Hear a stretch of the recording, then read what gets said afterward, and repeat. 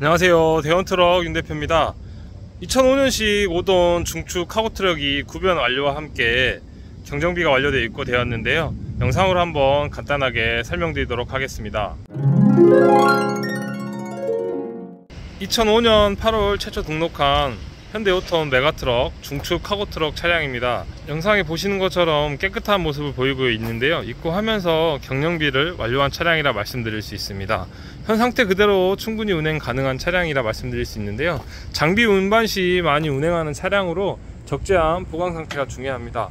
바닥은 철판으로 잘 깔려져 있는 모습이고요. 적재함 사이사이 갈비대까지 잘 보강되어져 있는 차량이라 말씀드릴 수 있습니다 중장비 운반 시 적재한 파손 없이 운행하실 수 있는 부분이고요.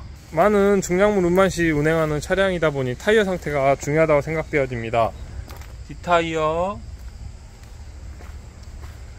앞타이어 앞티모드 80% 이상 트레이드가 보여주는 차량으로 교체 없이 바로 운행할 수 있는 차량이라 생각되어지는 부분입니다. 2005년식 차량이지만 하부 프레임을 보셔도 부식 많이 없이 깨끗한 모습을 보이고 있는 차량인데요. 그만큼 연식 대비 관리 잘 된 차량이라 말씀드릴 수 있는 차량입니다. 마력수는 225마력으로 불안자 타입을 가지고 있는 차량으로 장비 운반을 하시는 분들이 가장 선호하는 차량이 아닐까 생각되어집니다 고 하면서 경정비 및 정비 점검을 완료한 차량이다 보니 믿고 구매하셔도 되는 차량이라 말씀드릴 수 있습니다.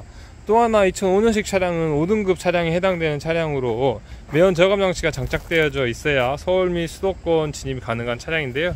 소개드리는 차량은 매연 저감 장치가 장착되어 있습니다. 서울 및 수도권 이상 없이 진입 가능한 차량이고요 매장에 방문하시면 직접 실매물 확인하시고 시운전 해보시고 그 구매 여부를 판단하실 수 있는 차량입니다.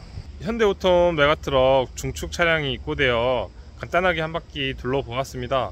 영상에 보시는 것처럼 깨끗한 모습을 확인할 수 있는 차량입니다. 매장에 방문하시면 소개드리는 차량 외에도 연식별 톤수별로 다양한 매물을 보유 중에 있습니다. 중고트럭 구매나 판매 시 궁금한 사항은 대원트럭으로 문의 주시면 되고요 좋아요 구독 부탁드리겠습니다. 감사합니다